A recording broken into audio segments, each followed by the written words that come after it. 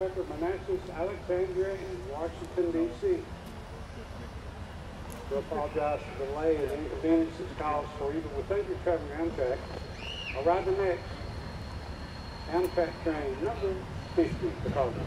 Amtrak 50.